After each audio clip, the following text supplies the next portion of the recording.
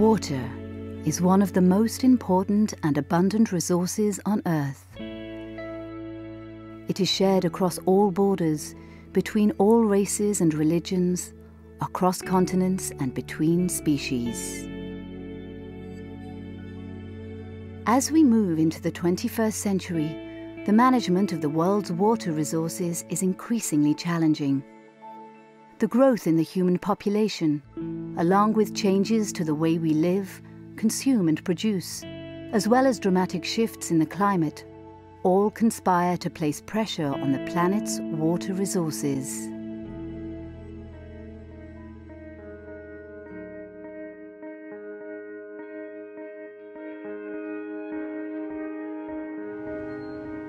At the centre of our engagement with all of these issues is IHE, Institute for Water Education, a unique global facility that educates and trains professionals and organisations across the globe to develop knowledge, skills and capacity.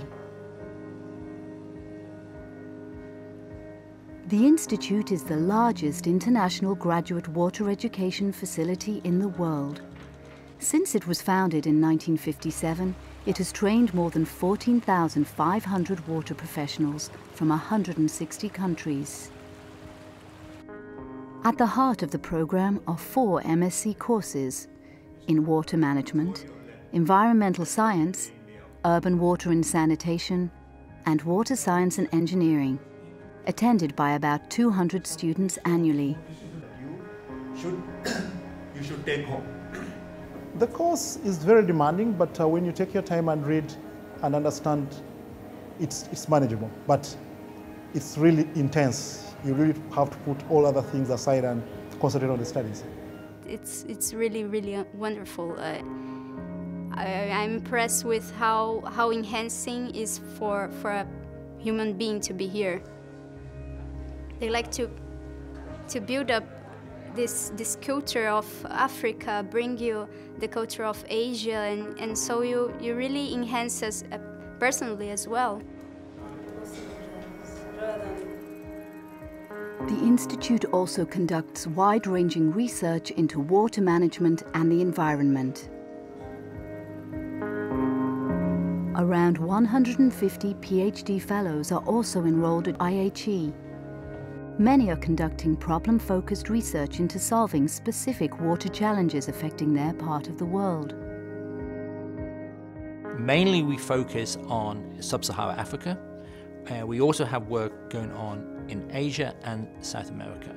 But our mission, the mission of IHE, is not to focus on uh, the developed world, or is to focus on the developing world. That's where the capacity problems are, that's where the research gaps are, that's where very often the governance structures are very weak. So, so, so our mission is to try to support uh, through good research and through good science, the development and capacity building and the educational needs of a whole range of countries. The Institute works collaboratively through a huge network of alumni and global partners. Its impact can be seen all around the world.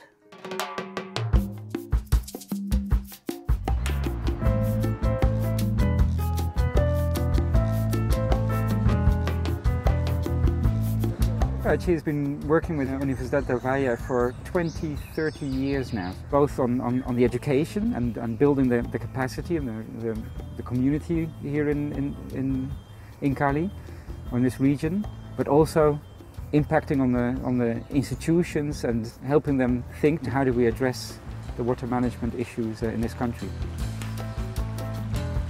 Our students go with this new mindset. Uh, technology is one of the factors, but it's not usually the main one.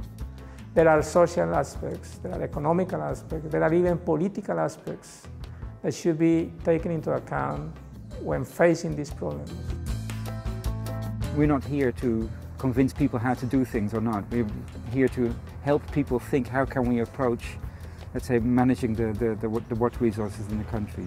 And I think you see now that this institute, together with, with other institutes, they're out in the rural communities improving the sanitary situation for, for these rural communities. And we just play a role in supporting the development of that. I think that's the role of, of IHE. I mean, we don't want to do it ourselves, we want to have, work with the people here to, uh, to get that in place.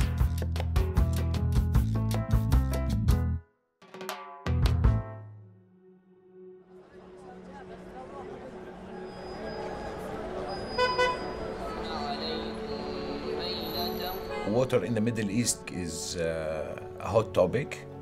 It's uh, getting more and more tense in uh, Palestine. It's one of the world's most uh, poor countries in terms of water. So now the Palestinians in general are struggling to secure their water needs.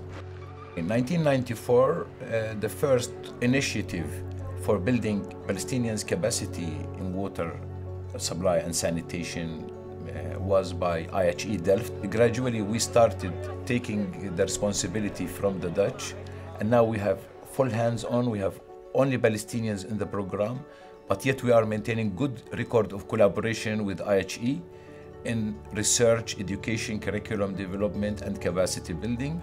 Now we have about 80 MSc students registered at Birzeit University for uh, water and environmental engineering. We have graduated more than 200. Now, the alumni of Birzeit University and the alumni of IHE are almost in every organization or institutions, and they are all having leading positions related to the water. Research-wise, we focus on applied research that target people on the ground, that target improving the water supply and sanitation sectors in the country. We have around 60 million cubic meter of wastewater every year. Only 6% of that is treated and the rest is discharged untreated to, to the environment. Indeed, our recent research clearly shows that our drinking water is mixed with sewage. IHE is playing a key role. When we started working a few years ago here, we did not have any basic data about the wastewater, like we don't have any data about the characteristics of the wastewater, the quantity of the wastewater, and that was a major uh, problem in the field. The output of our research is already used for the design of the plants like this you see. The new technologies that we are developed are now increasingly adapted by NGOs and non-governmental organizations who are constructing such plants.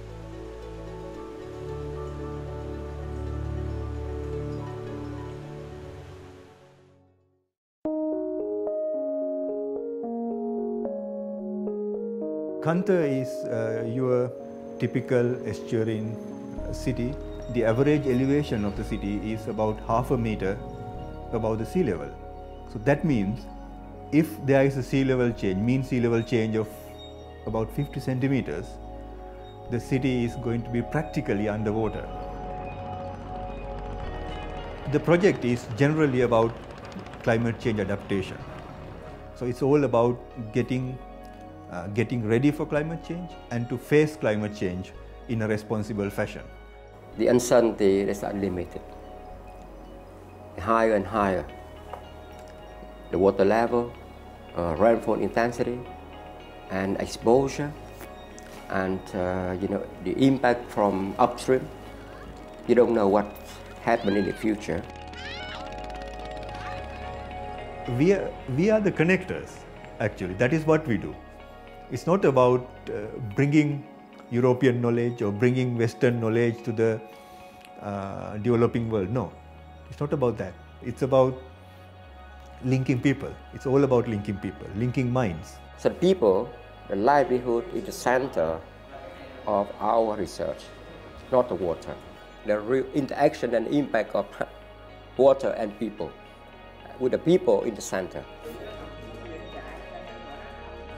The primary objective of the project is to make a real impact on the urban development process in the city, to bring the water agenda into the urban development scheme of things. Because even though we water scientists would love to think that water is the center of the world, in uh, urban development it is not. Our dream in Can Tho is to influence the urban development process in a very real way, enhancing the livability of the people and the sustainability of the environment.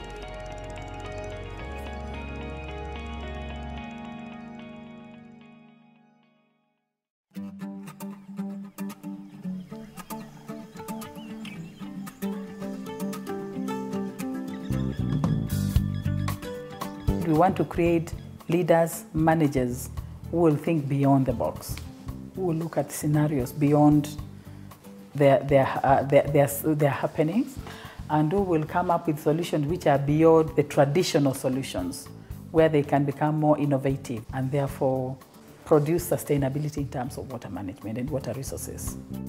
You get to meet everyone from all over the place and they really emphasize on teamwork. So you learn how to work to work with people from all over the world with different ideas, different cultures, different religions. It's it's not just geared towards learning like how much can you memorize from a book, but it's more of how can you apply the knowledge that you have, how can you um, just grow socially, um, and yeah. So for me, that was a big takeaway.